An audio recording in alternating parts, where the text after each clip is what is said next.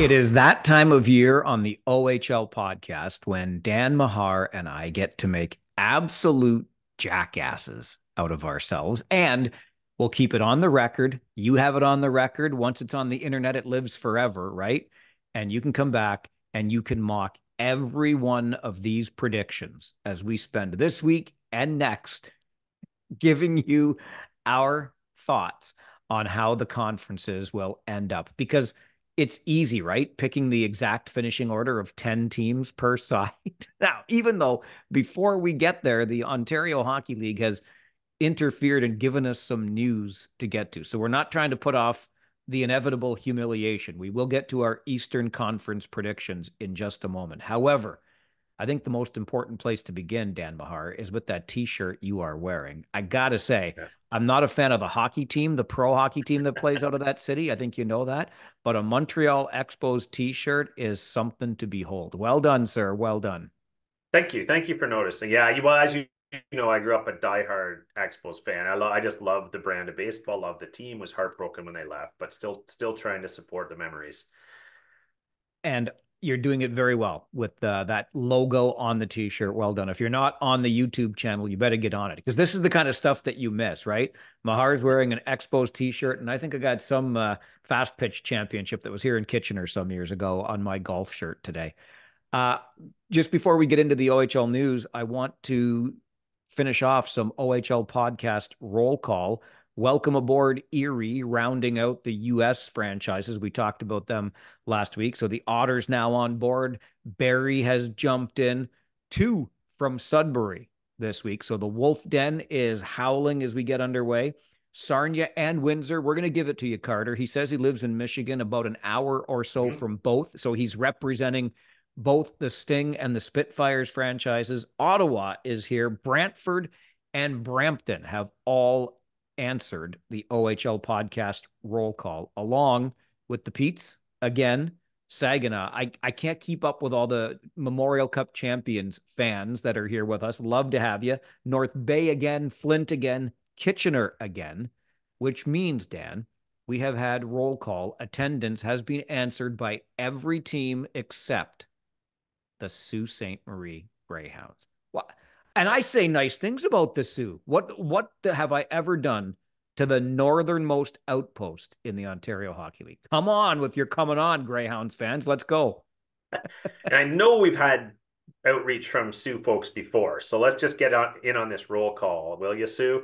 Um, but I feel like we should sing the Star Spangled Banner or something, Mike. Like we had uh, we had the, all the American franchises show up early, and we even have an American listener vouching for a Canadian team. So well, our American friends answer the roll call, roll call on spades. Absolutely. And anybody who ever asks, why does the Ontario Hockey League have three US based teams, two in Michigan and one in Pennsylvania? Because they love their puck there too. Okay. And it's a great brand of hockey. So the fans in Erie, Flint, and Saginaw are obviously enjoying it. Maybe Dan the Soo is a little bit late to jump in with us this season because there's a great deal of hand wringing up in Hounds Nation, right?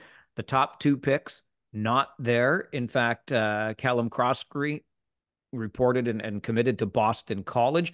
And then just this week, uh, Ryder Cali is traded to the North Bay Battalion. In return, Sault Ste. Marie gets a sixth and then a conditional second, fourth, and seventh. Those conditionals would obviously kick in if Cali plays a game with the North Bay Battalion. But this is the third time already this offseason that a first rounder has been declared defected, traded away. And that means three teams the Soo Greyhounds, the Brampton Steelheads, and the Kingston Frontenacs are going to get compensatory first round draft picks next year. That means two first rounders for those three teams strategic play hard to say. So some of these teams when they actually draft a player who is fairly well known is not going to come to the ohl at least this year sometimes it's a it's a veteran laden team that wasn't going to have much space for a rookie anyway and they t- say well let's you know throw a dart at the board here. Trade his rights get the compensatory pick two picks next year a couple conditional picks this year. A strategy play maybe. Um in some cases a little bit puzzling. Uh I I don't know in these three cases for sure.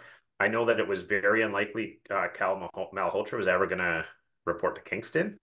Um, so you see some of these moves are a little curious, and, and you mentioned the Soo as well, Mike. That's another one where um, taking a big gamble when you don't have uh, any of your first couple picks report. So yeah, I think I think there's some concern in the Soo right now based on how things have gone early this year through camp.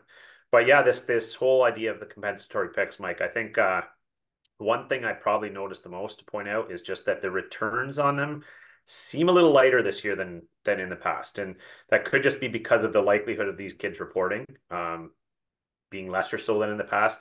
But also, I wonder if there's something going around behind the scenes in the league. There's been some talk about, you know, we've got to tone down these prices. It doesn't look good to the rest of the league when these little kind of collusion type deals happen. So who knows, Mike? But the prices were a little bit more reasonable this year. I found.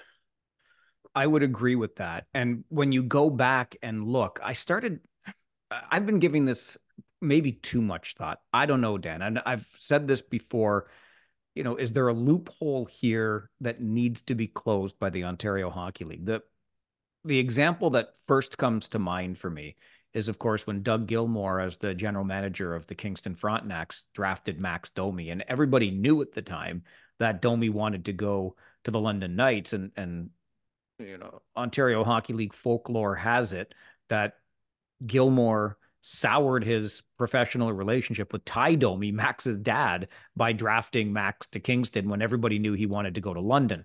But what Kingston ends up getting, of course, is that compensatory first pick. And the following year, so Domi obviously ends up in London and and the Fronts get a, a decent price for him. And then the following year, they get four of the top 24 picks in the league with Roland McKeown and Sam Bennett their two first rounders, Dylan Di Perna and then Spencer Watson in the second round, Watson being that second second rounder at number 24. No disrespect to Dylan Di Perna, but looking back on that, everybody at the time was saying with McKeown, Bennett, Watson on this team, such high picks, the Frontenacs were going to be rolling on their way to a title, which of course never happened, would have been the first in franchise history. We've documented that well over the life of this podcast. But that takes us back to 2011 when that happened. Fast forward a decade, and this is where we're starting to see it accelerating. And that's why I'm asking the question like, is there a loophole here in 2021? The Ottawa 67s trade away Nicholas Moldenhauer's rights to the Sarnia Sting. Moldenhauer doesn't end up playing, but the 67s get back to back first rounders. How about Henry Mews and Frankie Marrelli? Hank and Frank still patrolling that blue line in Ottawa and doing very well. Thank you very much. The following season, that's when the Ice Dogs send Sam Dickinson to the London Knights, right? And then Niagara ends up with the compensatory pick. They get Ryan Roobroeck and Ethan Czata in the following year. We know the Kitchener Rangers did the same thing. We've talked about this with Michael Hag to Sudbury. What does that turn into for Kitchener? But Cameron Reid and Luca Romano. So again, three times now when you add Ryder Cali into that and uh, Adam Valentini, the Rangers acquiring Valentini from Brampton this year, and Cali we just talked about. So that's five times in four years since 2021 that we've seen teams take advantage of this opportunity. I, I can see the argument, Dan, that you don't want to dissuade teams from going after the best player. But it seems to me that the price, the the the risk is incredibly low. Like obviously go after the best player because you want to recruit him to what you believe to be the best development league. And I think you and I still agree on that. The OHL is that.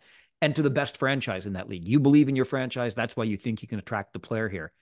But boy, oh boy, the risk is really low lately. It seems to me when you try to lure that player, oh, it didn't work. Well, I'll find somebody else who thinks they might be able to. And by the way, I'm going to get two first rounders the following year. I don't know what the answer is, but it's just it's happening an awful lot.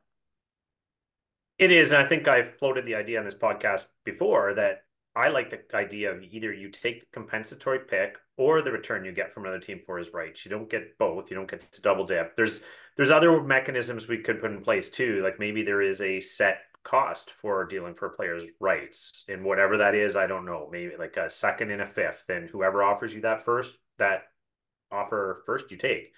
Um, I think the loophole that we're having trouble with. You mentioned the Sam Dickinson one, Mike, and and we heard uh, Rangers GM Mike McKenzie this year say that the Rangers haven't picked high enough in a draft for a long time to get access to players like Adam Valentini. So this is one of the few opportunities they have to get a player of that ilk, whether he reports or not. In the Sam Dickinson one, I wonder if the thinking's the same. Is London's picking lower down in the first round, and they think, well, we're never going to have Niagara take this guy, and we're going to compensate you well to send him our way. So to the rest of the league, it's like, wow, I don't know. This is kind of an end run to find these players because, like you said, Mike, the risk is not high enough for the team that's drafting that player because they know they're going to make a killing both with a compensatory pick and whatever package they receive.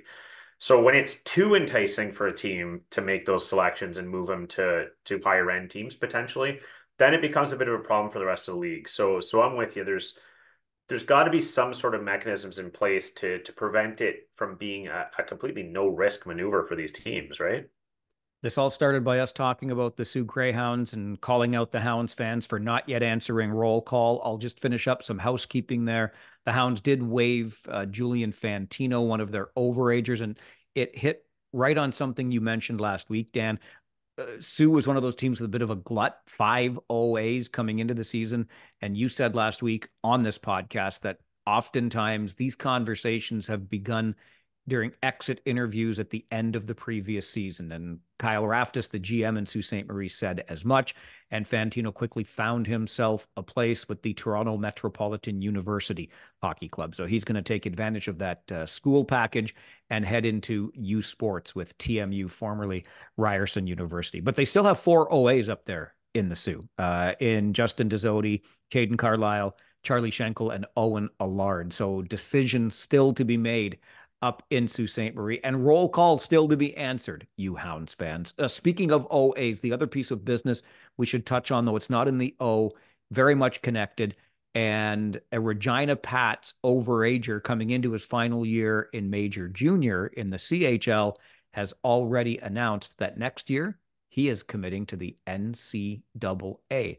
There was a time that such a move could not possibly happen, but now I won't say the floodgates are beginning to open, but that becomes a possibility. It sure does. And we teased this earlier, Mike. We knew that there was rumblings this was coming.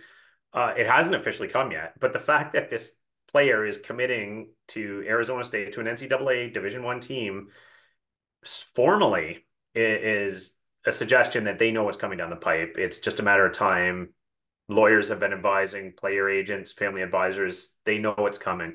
Otherwise, you wouldn't get this type of announcement. And I think there's going to be lots of discussion on this over the next few months, Mike, about what it means for every league.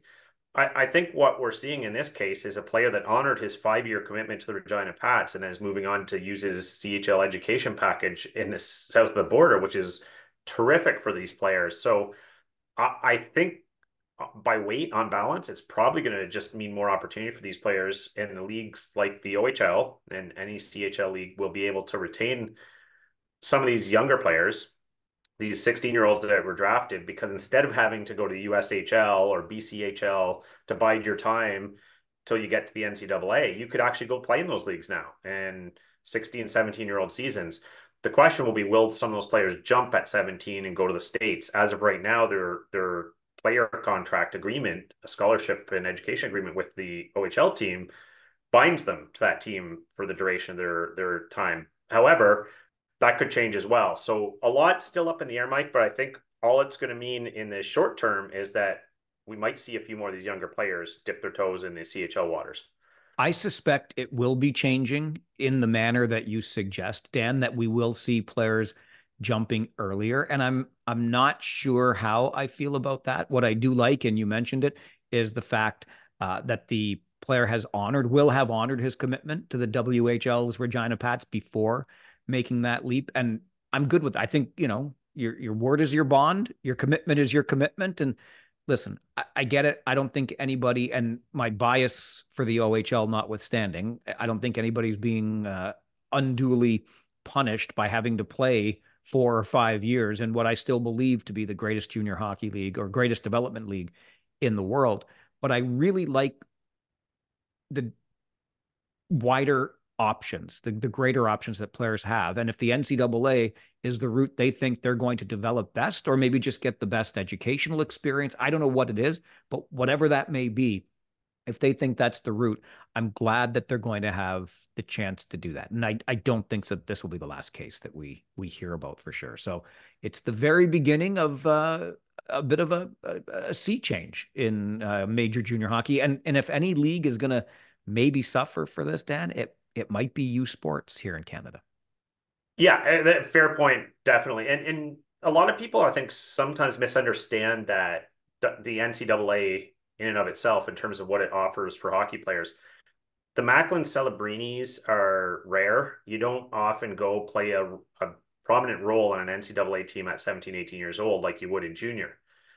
A lot of those players, it's 19, 20, 21 before they're earning a lot of ice time there. So the bulk of players that leave junior hockey at 20 years old, like you said, go on to U Sports in Canada, can play hockey there. There was never an issue they couldn't go on to NCAA and play hockey there because of this. So now they can. So it just, like you said, Mike, opens a whole wide range of options to those players who likely weren't ready to play NCAA hockey at 18 or 19 anyway, but might be by the time they're 21. So it's just more options for them. And I think that's a good thing, uh, especially for junior hockey players. Absolutely. And it makes programs strive to be better so they can attract – some of the very best players, whether that's in the NCAA, whether that's in the Ontario Hockey League or the Dub or the Q across the CHL, whether that's in U Sports. So hopefully this is just benefit to the player, which I think is the way it should be. You are, after all, availing yourself of their services for the time that they spend with you. All right, uh, that's business. Are you? This is supposed to be the Eastern Conference preview episode of the OHL podcast. Dan, are you ready for this? It's it's the first step of of a long season, and we I know the fans will let us know. Everybody that but the Soo has checked in with roll call, so they're paying attention to what you're about to say about their team. Do I uh, have time to go change to a Chicago White Sox shirt? I'm going to make a fool of myself. I might as well go all in. Wow, so. nicely done. I don't know what the White Sox did to deserve that, but well played. Well played. I'm going to be the old guy here for a sec too, if you don't mind. You remember back in the day, like Foster Hewitt made he shoots, he scores like the thing, right? That's that's all you had to say. He he made it an iconic phrase in sports broadcasting. He shoots, he scores. You notice now, like you don't just score, right? You you mm-hmm. snipe, you go bar down, you go top cheese. Like, is it just me? Or is there a whole lot of language that I have to learn again every year, Dad? there always is, Mike. And you know, I, uh, it's probably the old guy in me speaking as well. But I, I've never really totally got on board with all. I don't know why we need new words for everything all the time. I get from a broadcaster standpoint, you don't want to repeat yourself over and over, so you need some different. But the uh, the hipster words I can do without. Let's just say that. well, as you know very well, it is not just hockey. Oh, no, it's not. We've got different words for scoring things in every sport. Let me use football for an example. Is it a TD? Is it a tutty? Is it taking it to the house? Well, whatever you call a touchdown, they matter more at DraftKings Sportsbook, an official sportsbook partner of the NFL and a partner of the OHL podcast. Ready to place your first NFL bet? Try betting on something simple like a player to score a touchdown. Think of your favorite player. Look up the odds at the DraftKings Sportsbook. Make your wager on your favorite player to score a touchdown. And then get ready to do a touchdown dance of your own. Score big with DraftKings Sportsbook, the number one place to bet touchdowns. Download the DraftKings Sportsbook app and use code THPN. That's code THPN for new customers to get $250 in bonus bets when you bet just 5 bucks and get 1 month of NFL Plus premium only on DraftKings. The crown is yours. Okay, Dan, we didn't talk about this in advance, but here's the way I decided to do it. Let's I know, right? Ex- how do you like working with me, by the way? Executive I, decision. Here's how it's going to be. It's all good. All good. I, I someone wants to dictate how my day is going to go. It makes less thinking for me. So you go ahead. okay. Well, I hope you thought about this at least a little bit before coming in because you will have to defend these or at least laugh at yourself later on. But I think we should start this way. Which two teams in the East are you picking to miss the playoffs? That's when I look at things, this is kind of how I start, to be honest with you. So I thought we'll start it this way. Which two are not going to make it, Dan Mahar? I'm not gonna be able to show my face in these cities now, Mike. but I guess I was gonna have to reveal them anyway. So That's all right. right. Uh, brace yourself. The two I have missing the playoffs are the North Bay Battalion and the Peterborough Petes. Interesting. Would it surprise you in any way if the two teams I have missing the playoffs are different than your two teams. It would not surprise me at all, Mike, because I wrote and rewrote this list like five times. So this is what I've landed on as of this podcast. I'll probably change my mind five minutes after we're done, but no, it doesn't surprise me. Yours are different. So Who have you got? Well, I'll get to that in just a second. So based on what you just said, though, would you agree? Because I made this little note in a box beside my list. Would you agree that we could probably? I bet you we'll have a similar top four, just maybe yes. not in the same order and then the bottom four, well, actually, I think we just proved my point. I thought the bottom four were kind of like put him in a hat and pick out a name. I agree. I yeah. might, yeah, bottom four for sure, maybe five, but I, I, I agree with you. We're also probably going to have the same top four. So you've got North Bay and Peterborough out, yes. and I have North Bay and Peterborough squeaking in. I have I'm so sorry, St. Catharines. I'm so sorry. but I have the Niagara Ice Dogs missing again, along with the Sudbury Wolves. So, Dan, you start 10 and 9 and why? So 10 Peterborough Petes, I just feel they're still too young. They don't have as many key departures as you'd expect. I'd go over with all due respect to a couple of players like Cam Govero at the door they made so many moves last year to to recoup some assets for their veteran players that they're not getting hit hard by losses over the offseason. Having said that, so many 16 year old players by the end of last season, uh, adding a couple more now. Uh, I just feel they're they're so young that they're going to struggle in the depth deep parts of the season, especially once you get past Christmas and and there's a lot of wear and tear on those players, and they're starting to draw really tough matchups because the coaches are starting to to lean heavily on their top two lines in the second half. Uh, so I, I just I feel like Peterborough is just a year away, Mike, from from playoffs. Um, they really went all in for their championship years, and they've paid a bit of a price now. Nothing against them. I just a year away is is going to be my excuse, fans in Peterborough. And to your question about North Bay, this one I really struggle with, Mike. I will say there were iterations of my list where these two teams were in the playoffs, and I feel kind of nuts picking the battalion not to be in the playoffs because their track record is stellar under this coaching staff, under this GM. Uh, feels like they'll find a way. Uh, but when I look at the roster, just hammered with with critical losses, they went all in two years ago, really. Last year was supposed to be a bit of a step back, and they were so good they went all in again, and uh, you know acquiring Vilmanis, the LeBlanc twins, um, lots of key acquisitions again last year that cost them more collateral, and I think that they might be paying the piper a bit this year. Uh, I just that raw seasons, Mike, and on paper. I have them ninth, even though I know they always prove me wrong. So that's my rationale on those two, Mike. Um, what about yours? That's what makes this fun. Yeah. So I I struggled because I'm not trying to be cruel to anybody. I'm not trying to be unkind. I'm not trying to be that guy. But how many times have I said when somebody shows you who they are, believe them? And and the Niagara Ice Dogs have not just missed the playoffs in back-to-back seasons. They have finished dead last in the league in back-to-back seasons. And it's not like they were just on the cusp last year. They were 18 points out of a playoff spot. That's a lot of ground to make up. So, if the Ice Dogs miss again, they'll have the dubious distinction of tying the Erie Otters. If you're counting the pandemic years, 2020 we got cut off, 2021 we didn't play, but it would become six straight years of missing the playoffs for the Ice Dogs organization.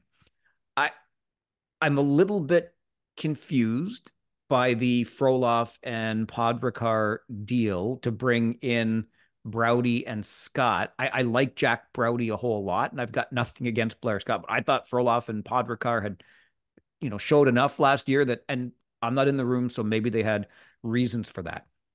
Things that I do like about the Ice Dogs for sure. I hear great things about Andre Lushko, the uh, import that they've got coming in. Kevin He, I'll, I'll take Kevin He on my team any day of the week.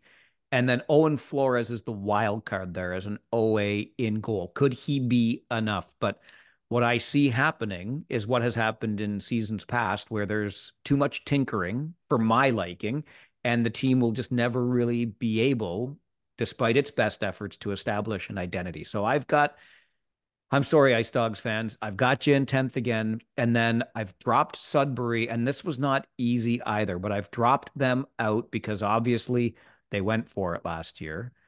They're going to have to recoup. And while there are still pieces they can move to begin restocking that cupboard, I, I don't see the goaltending they're going to need. And that was an issue last year. And as much as I love Scott Barney coming in as the coach, and I've heard nothing but great things about him, I think this is a year that it's going to be a step way back for the Sudbury Wolves, and they will finish ninth in the conference. So Sudbury nine, Niagara 10 on my end. So you've got one of those two, Dan, in eighth spot. I do. Uh, I have the Niagara Ice Dogs in eighth spot, and and believe it or not, Mike, on some of the iterations that I had, I had them a bit higher, and I just looked at the overall age composition of the roster and had to bump them down to eight because of kind of what you said earlier, Mike. When they show you what you are, believe, and I believe that the Niagara Ice Dogs have a lot to prove to earn a reputational boost, I guess, if you will. But what I'll tell you why I have them making the playoffs this year, Mike. So I watched a bit of their preseason. I love, love, love the talent they brought in. I know you mentioned Podrakar and it, and Frolov and some of the players that have moved on, but bringing in Virgilio Van Vliet, two very credible defenders. Love Jack Broudy's preseason. He looked incredible. Uh, I think like breakout season. If you're t- picking top five breakout players this year, he's on my list. And then the young talent. So we talked about Ryan Roobroeck uh, reporting last year. He's there. Brady Wasselin just looked like a veteran all preseason. Uh, great hands in tight. Uh, still young. I mean, we've got the Kevin Hees. You've got some of the, the veterans there that are now at the senior end of their tenure in the OHL ready. They've been through the wars. They've been through the downside uh, in Niagara. And often when a player does that, by the time they hit 18, 19, they're ready to actually do something. And I, I don't know the goaltending question mark on Flores. Do they stick with him? They've got Charlie Robertson as well, big kid that's had a terrific preseason as well. So I, I don't know what they're doing in the crease just yet, but I see credible options either way. And I love the young talent there. So I feel like they get in the playoffs this year, Mike. All right. So you've got Niagara two spots ahead of me. I've got them 10. You've got them eight. You put the Petes in 10th, and I've got them eighth. You've already explained your reasons for dropping them. And you're you're so right with the youth, the young team. But here's the way I look at the Petes. You remember last season, we were talking about both Peterborough and Kitchener early on. And Kitchener sustained it a little bit longer because Peterborough, once the sale started happening, there was just – there was really no turning back. And they had to do what they had to do last year. They had to do what they did because they're coming off the championship. But don't forget the young. T- so it, it tails off. But that young talent you talked about, and and they had that really s- tough second half, second two thirds of the season. But that young group got a chance to start playing together, got a chance to understand the Peterborough Petes culture. Rob Wilson demands hard work. There's no question about that. and you've got just I I just love the talent on the Petes. I mean, you've got Caden Taylor, who was a ninth overall pick to Sudbury last year, now a first rounder, now with uh, the Peterborough Petes. Aiden Young from Saginaw, he was the 16th pick last year. And Nico Addy, of course, from Owen Sound, he was the 12th pick last year. You add to that your own defenseman, Carson Cameron, who was the 13th. That is four first rounders from last year's draft with this Pete's team. I think they're strong enough in goal. They'll work hard and they will squeak into eighth place. That's my prediction. Who do you have number seven? Uh, first, I'll just say that's very, very well argued, Mike. I'll give you that. Um, yeah, I so no, no issue there. Um, Not surprisingly, at seven, Mike, uh, I have the Sudbury Wolves popping in at seven, and similar reasons that you had for dropping them. I mean, if you look at their list of key departures, it is long. Uh, it's hard to recover from that, especially considering they're a team that underachieved last year. So one could say, well, they've turned over a lot of the roster. Maybe things will look brighter. Um, Scott Barney has his work cut out for him. I think that the coaching is probably going to be one of their strong suits. Also, Mike, should have said this up front, but all these predictions come with 101 caveats, do they not? Absolutely. Thank you for bringing. Yes, right? yes, they do. okay. like who's returning from the pros? Who's like, uh, there's injury, all those things. Um, and with Sudbury, I raise it now because is Dalibor Dvorsky coming back? Is Quentin Musty coming back? Two big question marks right there. I think probably on Musty, not sure on Dvorsky. Those are two huge pieces if they're not there. If they are there, then yeah, maybe maybe seven, eight's a bit low for this team. But uh, like you said, huge question mark in goal. Nate Krawcheck could take the crease and run with it. Uh, who knows? Uh, just a lot of question marks there. And this was a team that was mid to low pack last year, even though they shouldn't have been. And then obviously had the huge losses in the offseason. So seven was about as high as I could go there, Mike. But who, and who you got? I see to your point, Dan, those players, should they return, be on their way out the door as quickly as yeah. they can be moved yeah. so that Rob Papineau can restock the cover, right? So what happened to the Petes last year, I think happens to the Sudbury Wolves this year. I have it seven. And I went back and forth on this so many times. You've got them ninth. I will confess to, I, I think, a large soft spot. And I, I've mentioned this before. I think underrated track record in North Bay. Since the team went up there, they had back to back runs to the conference championship in their first two years, and they're just coming off three straight runs. You already talked about the general manager, Adam Dennis, the coach, Ryan Oulahen, and the entire staff. I, I just really like what they've done. And I can't get out of my head the Van Steensels, the Romanis, and the Wakeleys, who are going to put up numbers for you for however long they're there. So I'm just thinking again, how much can they put in the bank before they have to start taking some lumps? And with a group like that, not to mention Mike McIvor in goal, who was terrific, just terrific last year, I'm thinking, yeah, obviously North Bay that finished first in the division and second in the conference last year is not going to be there but are they falling right out of the dance? I say no. So I have the battalion at number seven. So our bottom four, like I suspected coming in, we're just going to be interchangeable parts. I think the top four uh, will be very similar. So what happens in this uh, in this middle two, Dan? Who do you got for number six? Uh, sure. And just quickly, if I could, Mike, on the North Bay, I should have thrown in my caveat when I picked them to miss the playoffs. Uh, I'm assuming that those players you mentioned won't stay long. Um, not sure Dalyn Wakely's coming back. Might not sure yet. And then trades potentially. So I, I made my projection based on thinking those players would be moved out. So thank you for referencing that. Uh, at number six, I have, and I'm probably a touch higher than I wanted to put them, but reputational boost for the work that Dave Cameron has done. The Ottawa 67s, I have it at six. And again, another team, just a lot of lineup turned over in the last two years, and always seem to manage to find a way to be competitive. It's never an easy game when you go into Ottawa on a Sunday afternoon. I think they just find ways to win, and there's still plenty of talent there. We know you know, you're going to have Mews on the back end running that power play. You're good. There's a lot of ability still there. I just see that roster, much like North Bay, is just thinned out over the last two seasons. And I have trouble seeing them much higher than than six based on the strength of the top of the conference. But uh, who you got there, Mike? Do you mind if I just say uh, ditto? Oh, there you go. and and and for the reasons that you mentioned, uh, reputationally, they deserve it. Mews and Marrelli. I love Mayich. Let's call them 3M on the blue line there. But you touched on something else in Dave Cameron too. And if it's one thing we know about Dave Cameron's teams, it's that they will be they'll have a defense first mindset, so they're going to be difficult to play against. Uh, he demands the hard work that he gets, and anyway, for all the reasons you just outlined, I also have the Ottawa 67s at number six. And I will throw in that I'm I'm very interested in Colin McKenzie's season ahead. And I'm going on the bit of an assumption here because we're still in the preseason, but uh, likely the man to take the crease over Ian Micheloni.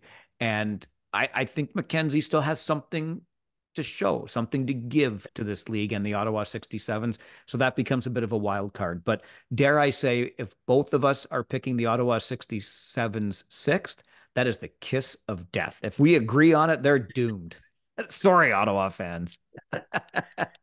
yeah, I, and you know why it's not just at six. I have a feeling there's going to be a few dittos going forward here because I think we're getting into a, a, a stretch where we might agree a little more, which is probably not good. But the top four will be very interesting. I'll bet you. I'll bet you dollars to donuts. And Dan have not. Dan and I have not talked about this in advance, but that when we get to the top four, you're going to hear the same four teams' names, likely just in a different order. Along with those four, there is one more. Still five teams for us to run down.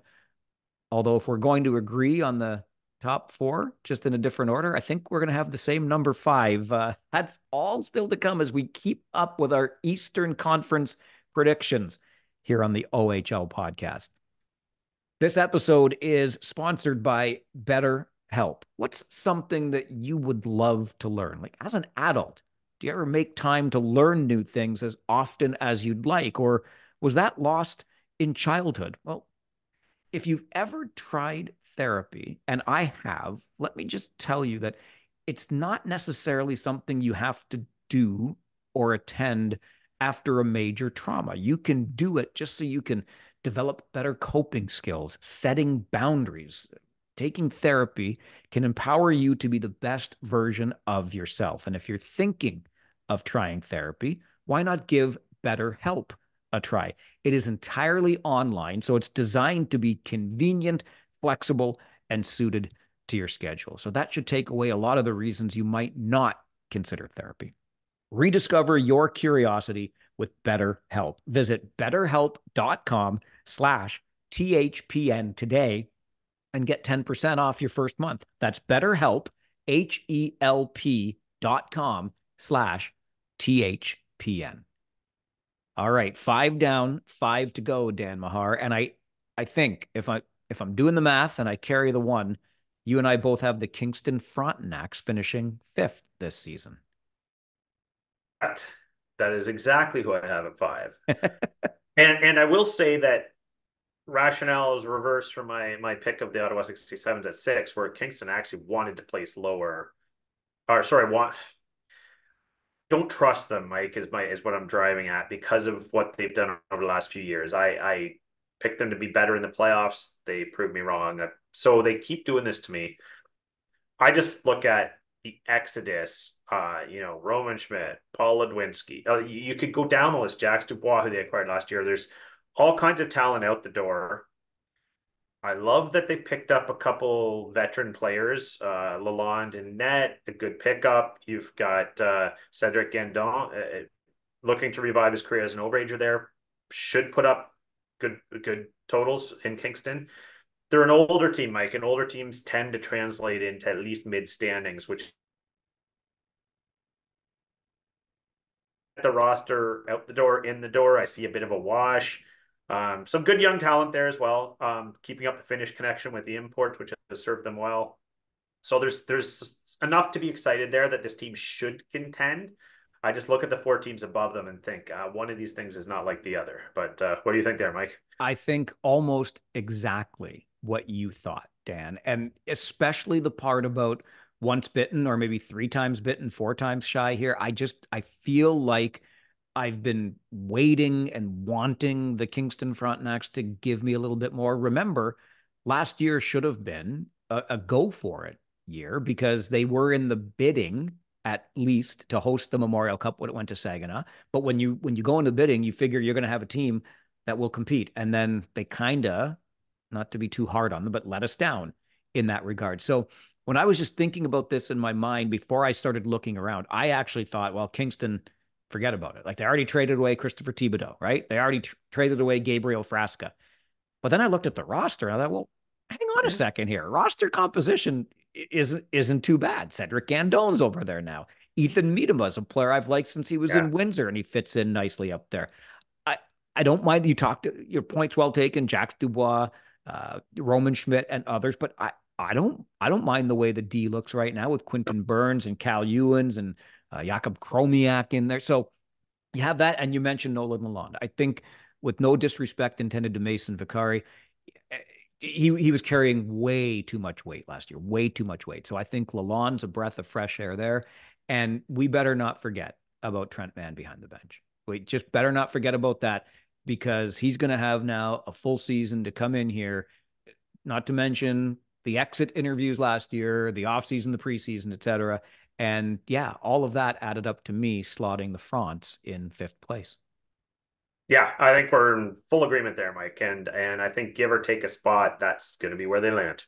I should have made my only prediction, Dan, that the bottom four and the top four were kind of put names in a hat and pull them out because that's what has happened. We had uh, differences in our bottom four. Let's find out how different, if at all, our top four is. Who you got at number four? All right, Mike. I have up the 400 highway to Barrie. I've got the Colts at four. Um, I think the pack of four, as we've referenced a couple times, have separated themselves in this conference, at least on paper, to start the year. I talked in a previous podcast how I love this sneaky under the radar additions of Brad Gardner and Tristan Bertucci, huge ads. Hillebrandt Hillebrandt looks terrific in net if if he's the the guy there all year.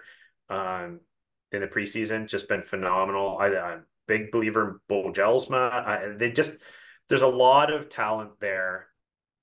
Learned some lessons last year. I think came on at the end of the year, gave a little bit of a scare in the playoffs, and now we're ready to take another step forward, having added a couple veteran players. I think they get themselves into the top four, Mike. I also have the Barrie Colts at number four, but I want I want the opportunity to put an asterisk beside it. Not that I think necessarily they'll be seventh, but I think there are so many things that could happen that could make them second or first, or well, maybe not seventh. But so I'll start with uh, Beau Akey, who did not play just this past weekend in the Young Stars Classic with the Edmonton Oilers. We know he's coming back from a devastating shoulder injury. So, am I reading too much into that? Maybe probably, but an unhealthy Beau Akey is a bad sign starting the season because hit the loss of him last year changed the trajectory of that Colts team entirely. The other real wild card in all of this, and I mentioned this earlier when we started our season here on the OHL podcast. I don't love getting into the rumor mill. There are plenty of rumors to go around. They are very difficult to substantiate, but the strong rumors, and we touched on them, are that Colby Barlow is not thrilled in Owen Sound and possible destinations for him, rumored Oshawa, Barrie. So if we have a healthy Beau and we add Colby Barlow, what does that do to the team whose praises you already sung? Dan, I I think it does a lot of good things for them to say the very least. But I'm I'm keeping them at four right now. Uh, Cole Beaudoin and their import Emil Hemming up front, both NHL first rounders. You mentioned a Hillebrandt in goal. You remember what he did last year, especially into the playoffs. And I, I think the team's got uh, it's it's got some real nice pieces. How they all come together and how healthy Akey is remains to be seen. But I've got them fourth as well. Yeah, I think everything you just said makes a ton of sense, Mike. And the wild cards you just mentioned, rumored acquisition potentially of of Barlow and then Hemming uh, uh for sure high end NHL talent dropped in, much like Edward Šale, who didn't necessarily perform to expectations, but similar pedigree. Uh, Barrie has potential, especially with acquisitions, to see themselves rise from four, I believe, as opposed to sink. Okay, I, I, and I would agree with that too. The, the likelihood of sinking is is far less than the likelihood of actually going higher than four. Who yeah. do you have, Dan Mahar, at number three? So this is another one that's a bit reputational for me, Mike, because I think that they're greater than the sum of their parts, and that is the Brantford. Or sorry, I did yes, Brantford right. Bulldogs. I had it. I, almost, I thought I, I thought I blew it. There. Sorry, uh, Brantford Bulldogs are my third. Uh, I have it third, Mike. and I'll tell you why. So I think they're a little thin on D. I think there's some help could come there. Uh, not no offense to hard hitters, Owen Protz, uh, Okatundu. They've got some some compete there, but those two players are kind of the epitome of that team. They're physical, they're hard, they go at you. And I think when we talk about Jake O'Brien, Nick Lardis, Marek Vanacker, those players alone get you in the top three or four in the conference, just the way they compete in battle. Uh, I believe the addition of Ryerson Leenders in net, you've got a high end goaltender now. Uh, and then you've got a bunch of other talent around the periphery with Patrick Thomas, and you go to so you go down the lineup with the experience they've gained um, through the playoffs in the past couple years. A year older for those players, I think you're going to see some star seasons from those players I just mentioned, and the supporting cast, and just the way Jay McKee gets them to battle, be heavy, hard to play against. I, I, couldn't drop them lower than three, Mike. I don't know that I could add anything to what you just said. I also have Brantford at number three, and I confess you you use the word reputationally. I'll I'll use it again. A, a little bit of a soft spot, much like for North Bay, but just look at what this team has done. 18, a run to the championship. 22, they win the championship. Lots of people saying they maybe played a little bit above themselves last year, but I love the team that general manager Matt Turek has built. You talked about Jay McKee as a coach. There's been a great deal of consistency with this organization dating back to the Hamilton days, but there's they're building, they have built something. And it's successful for the reasons you just mentioned. And speaking of coaching, Jay McKee and Andreas Karlsson, I, I describe them as kind of like Batman and Robin since they came into this league together with the Kitchener Rangers. Karlsson gets scooped up by the Edmonton Oilers to take on a player development role. So what do the Bulldogs do? They keep it in the family and go back to Vince Laise, who was there as the coach when the Bulldogs in Hamilton were winning it in 2018. They don't miss a beat, as far as I'm concerned. I really like the way the team is constructed. You put Ryerson Leenders in goal. And uh, okay, so we have three, four, five, and six the same. I wonder how we're going to do one, two. Dan, who you got second? Second, okay. I, I struggle with this one, Mike. When I get to number one, I'm going to throw out a bunch of caveats at you to explain why I made that decision. Because this one I struggled with. But at number two, Mike, I have the Brampton Steelheads. And the reason I have the Brampton Steelheads, and they easily could have been one, I redid this one a bunch of times. Uh, I the Brampton Steelheads are loaded for bear. We all see it. They have everything you need. They have the coaching. They have a GM that's shrewd and gets them what they need. They have a draft pick covered that's loaded for Bear to get more down the stretch, which I think will be a, a big minute eating defender. If if I had my guess, uh, Matthew Andonovski potentially, someone like that. Uh, they're they're loaded. Uh, they can skate. They can move the puck. They can score. We talk about Porter Martone all the time. We talk about Angus MacDonell up front. Uh, we got Luke Misa up front. They added oh uh, that guy Rakoff. What's uh, what do you have? Fifty yeah. some goals. Just, I mean, they're just, just, a few. Yeah, yeah, just a just a, an embarrassment of riches in Brampton this year, and Ivankovic in net, who is Canada's U18 star. Um, and when I get to number one, which is getting pretty obvious now, I'll explain. But I think one of the things is him being so young is a bit of a question mark. Uh, they have Gibbons uh, net behind him. There's some question marks potentially there, even though I'm a huge believer in Ivankovic. I think he's a terrific goaltender, um, championship pedigree over time. So uh, easily could have been my number one, but I got I got the Steelheads at two. Mike, who you got? So it's so interesting when you mentioned the caveats you have for number one, because I think that's why I have the Oshawa Generals at number two. For every reason you just outlined. And again, like what am I living under a rock? I know I'm from Kitchener, but there's not a big rock over my head. Okay. So eh, you got to love the Brampton Steelheads coming into the season, loaded for bear, all the, they're going to add, et cetera, et cetera. You nailed it, Dan. That's why I have them number one. You got to love that offense. The only thing you might say is there's only one puck over there, right? There's only one yeah. puck, but it's going to be fun to watch. Brampton, I know you really don't care, but try. Try to care. Tell a friend. It's going to be a great team to watch. I have Oshawa at number two. And I wrestled with this too, because who didn't love what Oshawa did last season? Who doesn't love the players that were a part of that that'll come back and do it all again? Hello, Beckett Sennecke. Hello, Callum Ritchie. Hello, Ben Danford, etc. Right on down the line. Two things stand out to me, and I I kind of hate to say it because I I loved his season so much, and I love it when a guy gets a change of scenery and becomes a brand new player.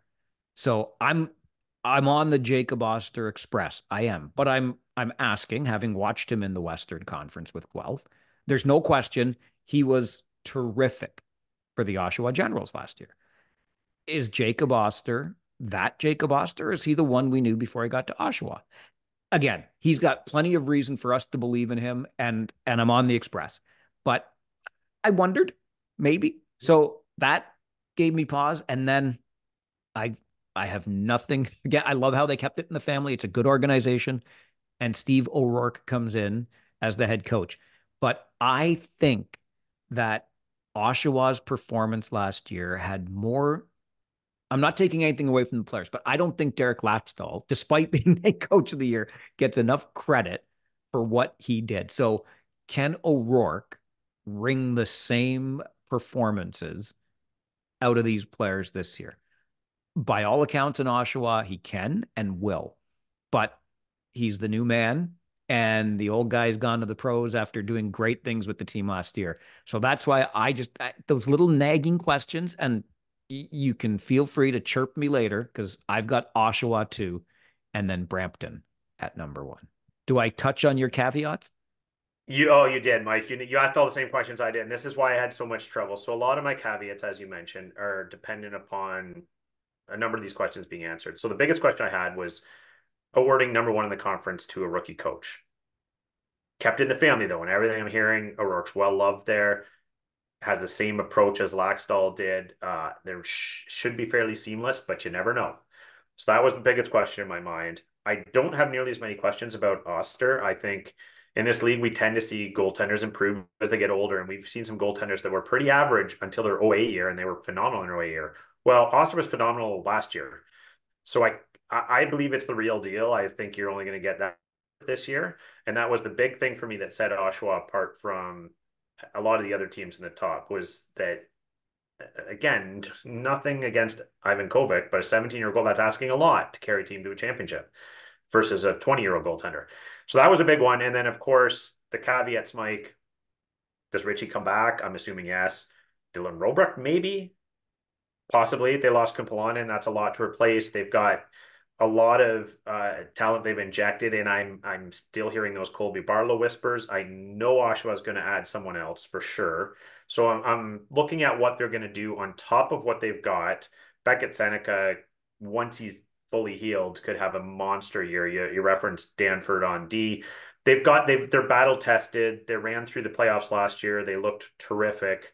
Uh, I, I just think that there's so much there. I couldn't bet against them if some of those chips fall in place. So there's a few caveats there, but I've got the Jennies. It's a good point on Ivankovic. And I did listen, I'll be honest, I was on Brampton coming in. And when I looked a little deeper, I only reinforced my belief. So it was confirmation bias for me. However, uh, I, I was curious, you know, Ivankovic, to your point, 17 years old, carrying a team to a championship. He got more games last year than I seemed to remember. He played 25 games. He was a 272 goals against and a 915 save percentage. Now, I know 25 versus the 40 plus he's going to play this year. I get it, but eh, eh, it's his draft year. This kid's the real deal. I'm not worried about that in Brampton. But bottom line is, uh, it's going to be tons of fun.